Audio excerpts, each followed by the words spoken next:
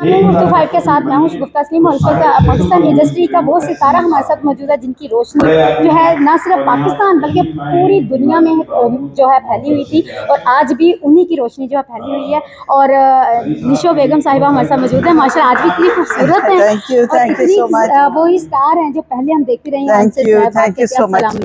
वालेकुम अस्सलाम बड़ा अच्छा लग रहा है कि ये इट्स अ ब्यूटीफुल ओकेजन और ई ने जो फनकारों के लिए एक मुआवजा रखा है और उनको दे रहे हैं that is wonderful I like it I appreciate अच्छा ये बताइएगा पाकिस्तानी फ़िल्म इंडस्ट्री में जो पहले थी अब वो लिया शबाज नकवी साहब का ये चेहरा। ये तो हमारे दोस्त हैं और हम इकट्ठे होते हैं हमेशा। यहाँ यहाँ यहाँ हाँ, दो दो तीन कुर्सियाँ और शराब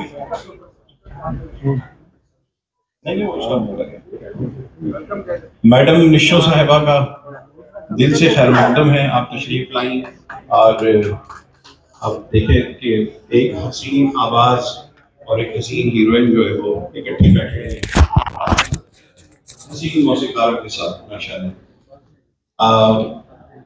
मैं गुजारिश करूँगा जनाब रिजवान साहब से कि वो ए हमीद साहब का चेक जो है वो वसूल करें।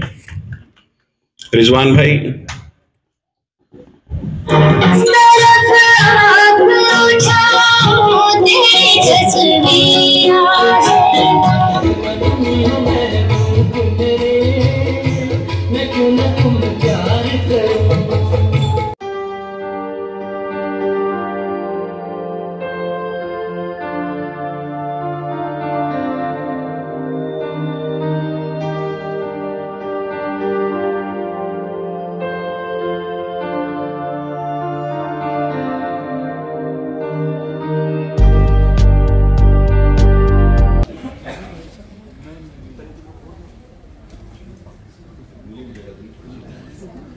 अच्छा मैं आपसे फिर गुजारिश करूँगा कि ज़ाहिर के अहम अशरफ साहब से जो आपका बड़ा करीबी ताल्लुक है मैडम मिश्रो से भी पूछूँगा, आप अहम अशरफ साहब के बारे में कुछ कहें, क्योंकि आपसे ज़्यादा किसी ने भी काम नहीं किया हमारे खानदान में से सबसे पहले गायक उसके बाद अख्तर रखे दूसरे और फिर तीसरे और चौथे नंबर पर अच्छा और उस्ताद ताबू खान अपना ज़िक्र नहीं कर रहे जो अभी तक छाए हुए माशाल्लाह। और इन्होंने जब एज ए तबला प्लेयर काम किया तो दुनिया पता की एज ए म्यूज़िक डायरेक्टर काम किया तो दुनिया पता की म्यूज़िक अरेंजर काम किया तो दुनिया पता की। सब अल्लाह आपके साया सलामत मैडम आप अशरफ साहब के बारे में। ये तो हमारे फ़िल्म इंडस्ट्री में तमाम music director music composers singers undoubtedly they are very very talented people और लोगों के लिए आइकॉन बने हैं।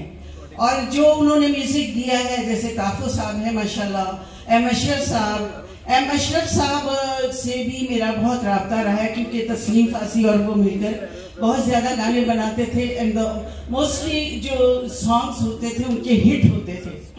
तो वो ऐसे हमारे म्यूज़िक डायरेक्टर थे और ऐसे ही उनके साहबजादे अमरशद ये ये चीज़ें वो हैं जिन्होंने फ़िल्म इंडस्ट्री को सिंगार दिया, खूबसूरत बना दिया। कि देखिए जो गाने इतने गाने हिट होने इतनी खूबसूरती से हर गाने का अपना रंग अपना अंग अपना flavour and that is wonderful thing तो मेरी दुआ है हमारे म्यूज़िक डिपार्टमेंट को अल्लाह ताला इसी तरह कायम दायम रखे। और अफंदी साहब ने ये जो इकदाम उठाया है एम आई के तवसत से उस platform say that is fantastic और आप यकीन कीजिए ये देखें ये जो मैं जुबानी तारीफ़ कर रही हूँ ना दिस इज़ नथिंग जब तमाम सुर, तमाम रागनियाँ, तमाम गीत, तमाम खूबसूरतियाँ, इस इस बात से जो आप कहते हैं ना, फला साहब आकर अपना चेक ले जाइए। इससे बेहतर कोई सुरीली बात ही नहीं। अल्लाह ताला आपको तफीक दे और जो आपने किया हमारे लिए, हमारी फ़िल्म इंडस्ट्री के लोगों के लिए म्यूज़िक डिपार्टमेंट के लिए इसी तरह करते रहिए।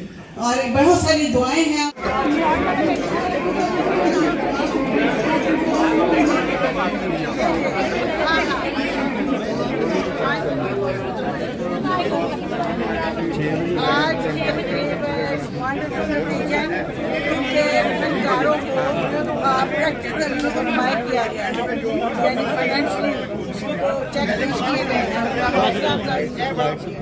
इट्स वेरी एनकरेजिंग और बड़ी खुशी हुई है बहुत शानदार तकरीब ई एम आई ने ये मुनद और हमें खुशी है कि की है कोई बात नहीं मुझे लास्ट टाइम मिल गया था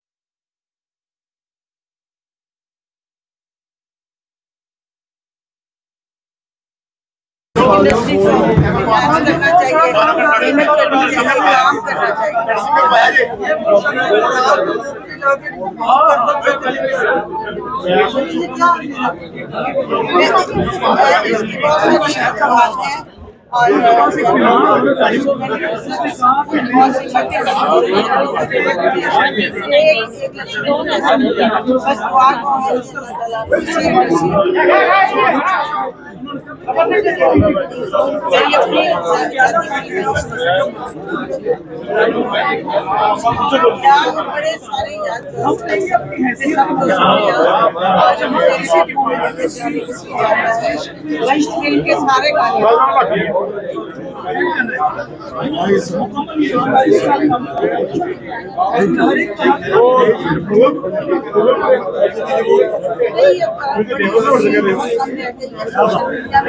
हर कोई एक्टर है हर कोई डायरेक्टर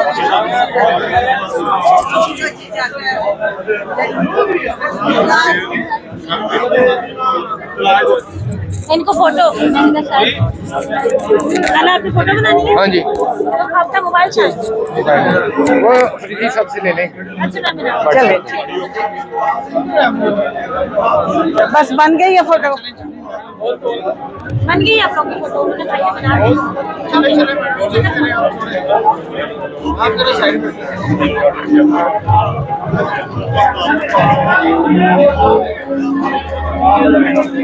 हाँ जी। ये सब मेरे साथ मौजूद है। सेवेंटीज एटीज नाइन्टीज की सदाबहार हीरोइन बेगम निशु साहिबा। इनसे जानेंगे कि आजकल जो फ़िल्म इंडस्ट्री की हालत है और जिस वक्त ये काम करती थी उसमें और आज के दौर में क्या फ़र्क है? मेरे साथ मौजूद है बेगम निशु साहिबा। वालेकुम। अस्सलाम जी। हाँ लाहौर अच्छा तो आपने जो क्वेश्चन किया वो बहुत रेलिवेंट है। सोशल मीडिया का दौर है इसमें। फ़िल्म बनाने के लिए बहुत ज़्यादा एफर्ट की ज़रूरत है, बहुत काम चाहिए, बहुत सलाहियतें और रिसोर्स चाहिए। तो फ़िल्म इंडस्ट्री तो अब थोड़ा जवाल का शिकार है। तो इसके लिए मेहनत फाइनेंस एवरीथिंग मतलब हर एफर्ट चाहिए इसके लिए। तो इंशाल्लाह कोई मायूसी गुना है, मायूस नहीं होना चाहिए।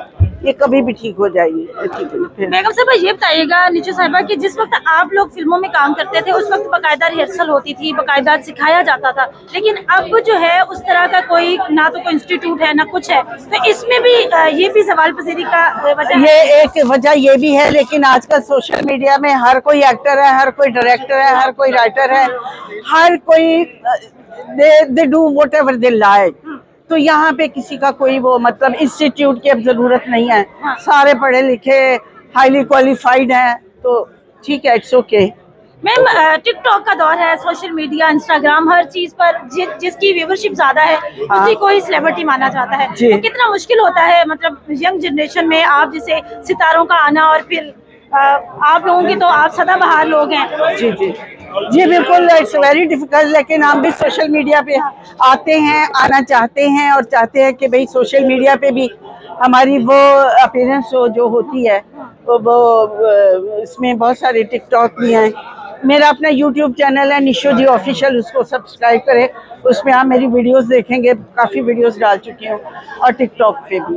निशा साहबा आखिरी सवाल आपसे ये जो यंग जनरेशन जो है फ़िल्म इंडस्ट्री में आना चाहती है काम करना चाहती है उनको क्या पैगाम उनको कुछ पैगाम देने की ज़रूरत नहीं वो सेल्फ सफिशेंट है अपना काम खुद करना चाहते हैं और जो इंस्टीट्यूट की ज़रूरत थी वो सोशल मीडिया ने पूरी कर दी है। लेकिन फिर भी एफर्ट इज़ मस्ट और काम ज़रूरी है और अपने टैलेंट को बिल्कुल वेस्ट नहीं करना चाहिए। ज़िंदगी का कोई ऐसा यादगार लम्हा जिसको आप हमारे व्यूवर्स के साथ शेयर करना चाहें? बहुत सारे लम्हात हैं कोई फ़िलहाल तो मुझे याद नहीं आ रहा। उस वक्त जब मैंने पहली दफ़ा फ़िल्म इंडस्ट्री में आई थी और काम किया shooting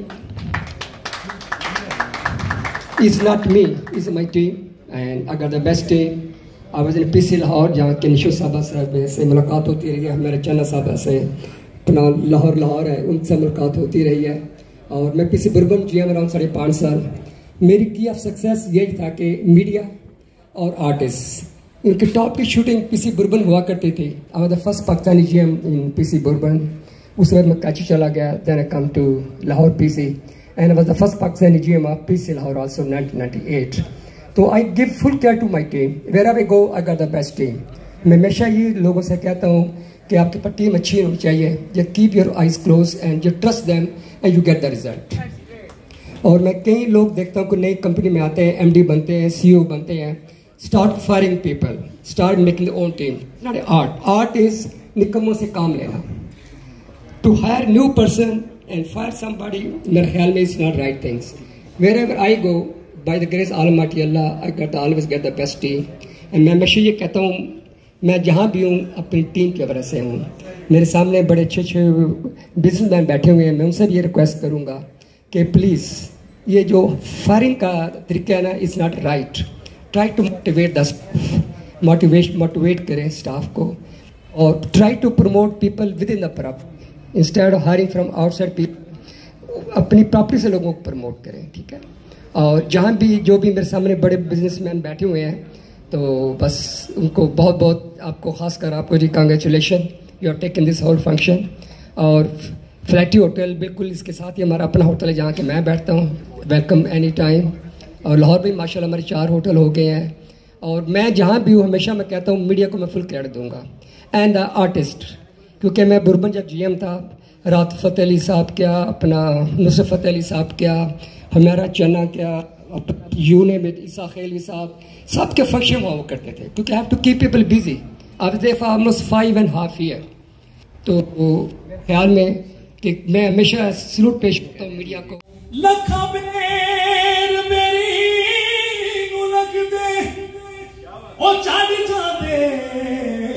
कच्चे, ओ जेरे पक्के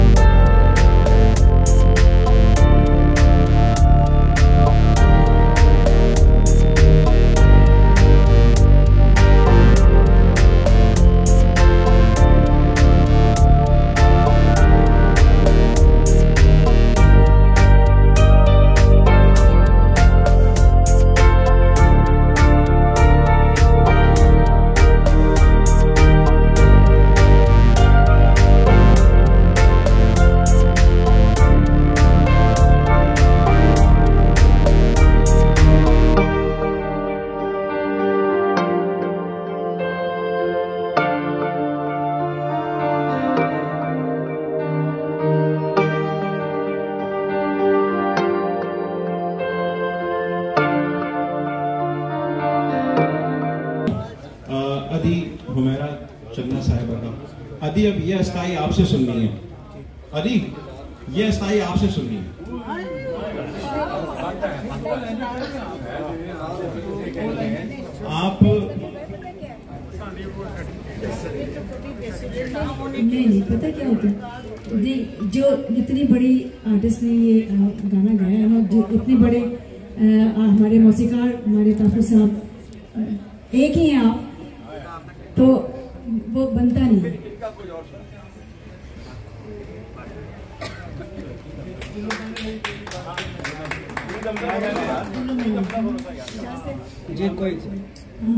दिलो मन ले, तेरी बन गई दिल जहानिया असा लानिया तू निभानिया मेरे कहानिया ये मोहब्बता, असा दिल तो नहीं भुलानिया दिलो मन तेरी बन गई दिल जहानिया असा लानिया तू निभानिया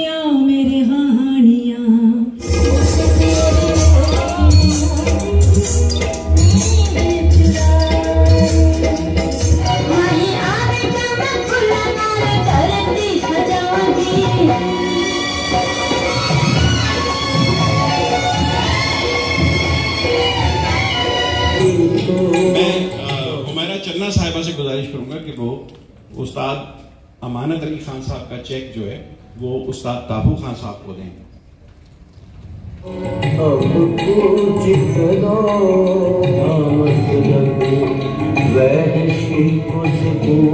सारे फ़ोटो बनने दिया। हाँ जी बनाए बनाए। जी हुमेरा जी जी थैंक यू जी जी जी। थैंक यू हो गया।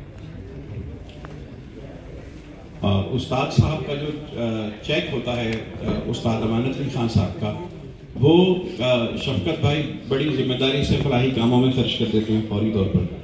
और हमारी, अमूमन उनसे मुलाकात हो जाती है, हम घर पे उनको चेक डिलीवर कर देते हैं। आर्टिस्ट को एक ऑक्सीजन की ज़रूरत है, और वो ऑक्सीजन है उनकी encouragement which is very important E M I ने बहुत अच्छा इनिशिएटिव लिया है और कर रहे हैं ई एम आई फनकारों के लिए म्यूज़िक फ़ील्ड के लिए और शायरों के लिए जो म्यूज़िक से रिलेटेड लोग हैं उनके लिए। तो बहुत अच्छा इकदाम है बहुत इनक्रेज है और इन ताला ये चीज़ बहुत बहुत लोगों की भलाई का सबब बनेगी। Thank you ma'am thank you welcome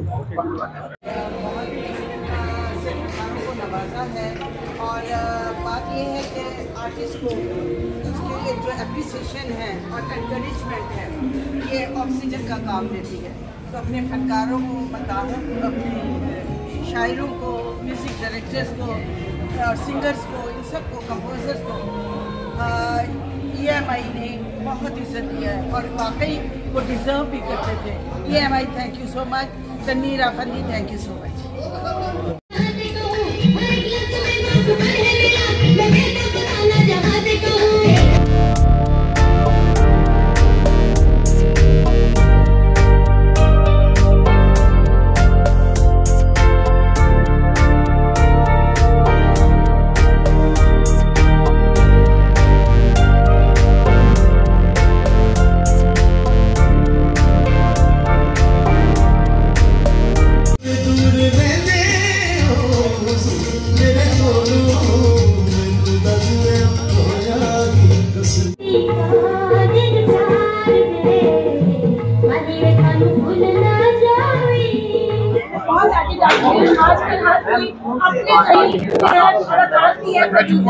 challenge हाँ जी।